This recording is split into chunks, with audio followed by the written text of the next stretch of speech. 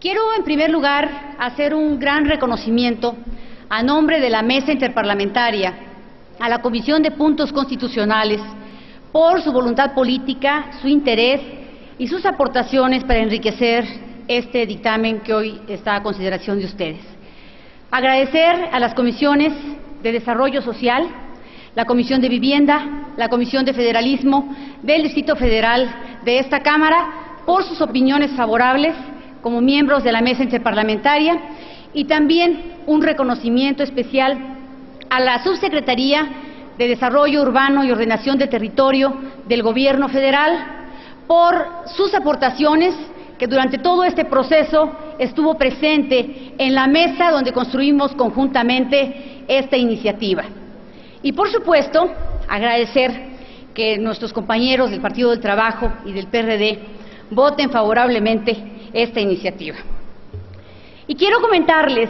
que se han eh, dictaminado conjuntamente 16 iniciativas de este tema que estaban esperando en la Comisión de Puntos Constitucionales su turno de dictamen. Es decir, había ya antes que la nuestra otras 15 iniciativas esperando resolver el tema metropolitano. Quiero hacer referencia solamente algunas de las bondades de esta reforma para invitarlos a sumarse a la votación.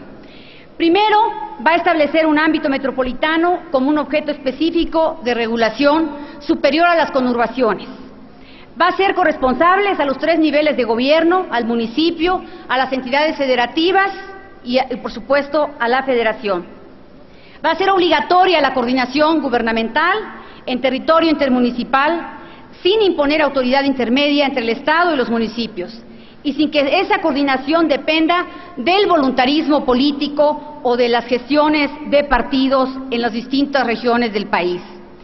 O tampoco de que solamente se dé cuando la Federación transfiera recursos a las entidades federativas para el tema metropolitano. También va a inducir políticas públicas de Estado que permitan al Estado mexicano ejercer de manera más eficiente la rectoría del desarrollo económico en las propias metrópolis del país en términos de sustentabilidad y justicia social. Y hacer una referencia, como lo ha manifestado mi compañero el diputado Cárdenas respecto al derecho a la ciudad, que efectivamente la iniciativa original pretendía impulsar este derecho desde la Constitución, Hubo algunas eh, cuestiones que nos llevaron a pensar que era muy bien colocarlo en la Ley General de Asentamientos Humanos, que como Cámara de Origen la tiene ahora el Senado de la República y que vendrá próximamente a esta Cámara como producto de la mesa interparlamentaria que en mayo pasado hemos instalado. También comentarles que con esta reforma se va a establecer la planeación del desarrollo metropolitano como un nivel que guarde congruencia con la planeación del desarrollo nacional y estatal y conforme la cual tendrán que ajustarse congruentemente la planeación municipal cuando se trata de municipios metropolitanos. No más autorizaciones de cambios de uso de suelo al arbitrio de intereses particulares autorizados antes de dejar el cargo en muchos casos en contradicción con la planeación ordenada y sustentable del Estado y a la conveniencia particular de intereses o presiones de grupos. Se dará pie al desarrollo del marco institucional regulatorio local que determine los mecanismos y procedimientos de una coordinación ahora de carácter obligatorio, no opcional entre municipios y el Estado respectivo y entre entidades federativas cuando se trate de zonas metropolitanas nos va a garantizar una gestión pública concurrente que permita aprovechar las ventajas económicas, comparativas y competitivas que derivan del desarrollo de una zona metropolitana hacia otros centros de población en el estado respectivo e incluso en la región del país de que se trate. Con ello se hace posible que los tres niveles de gobierno sumen recursos, esfuerzos, iniciativas y trabajo conjunto para la ampliación y el mejoramiento de la infraestructura el equipamiento urbano, de los servicios, el transporte, el abasto,